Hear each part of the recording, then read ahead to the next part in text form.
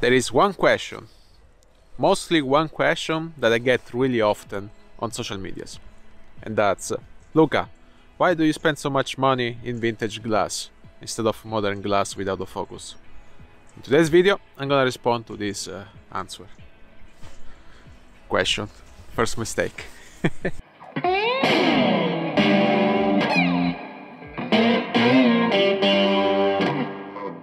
The reason number one is of course the image quality that they can reproduce. To my eyes, the image quality it's way more organic.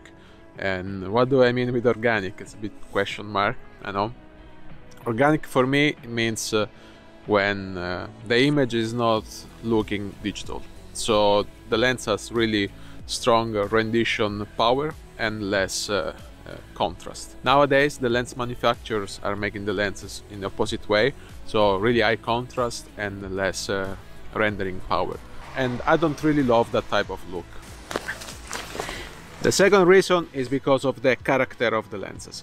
If you like interesting bokeh and flares, these lenses are really for you.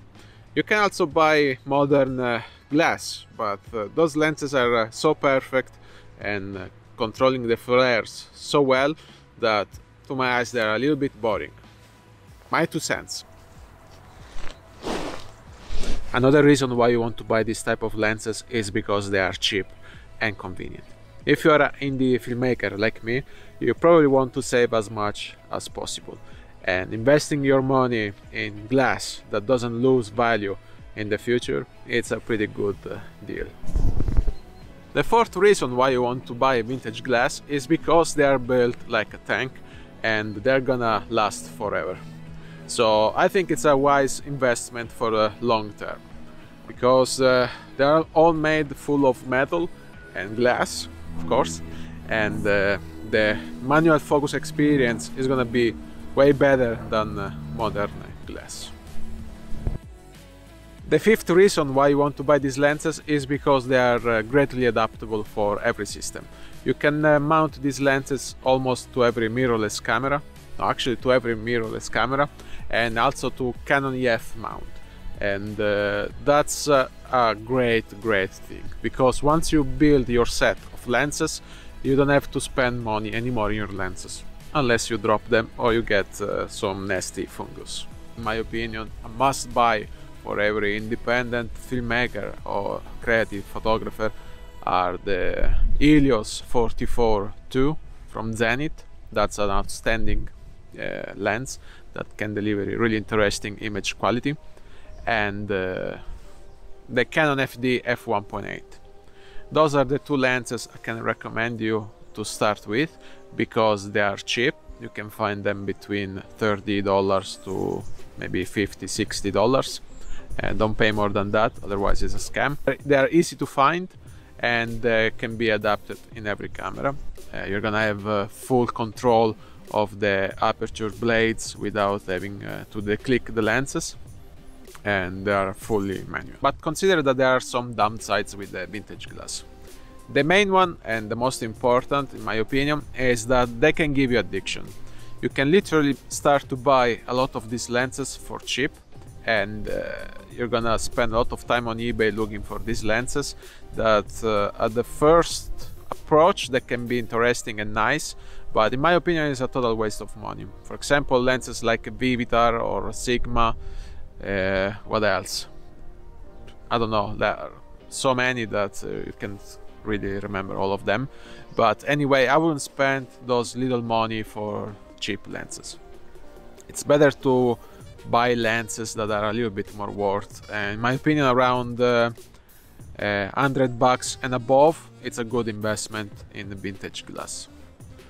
And uh, another uh, bad thing about vintage glass is that, uh, yeah, you're gonna lose the weather sealing uh, ability of your system. For example, I shoot a lot with the Lumix S cameras and I never really had the problem of uh, weather sealing with this camera, even with uh, adapted lens. Uh, sometimes I also got some uh, big splash from the waves in the sea without any problem. And uh, it's a little bit risky. For example, if you film in the snow or in really wet countries with a lot of uh, humidity I don't know if it's really wise to film with uh, adapted lenses because uh, you're gonna short the life of your camera. So my advice is to always have one uh, weather sealed lens.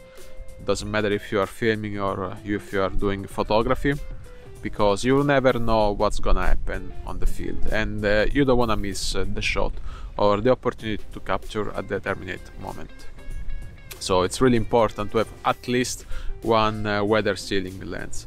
That's why uh, I bought the Panasonic Lumix uh, S long name 24 to 105 f4 because uh, I generally film with a slow lens outdoor and uh, I use that lens also for landscape photography. So I'm pretty covered for outdoor situation.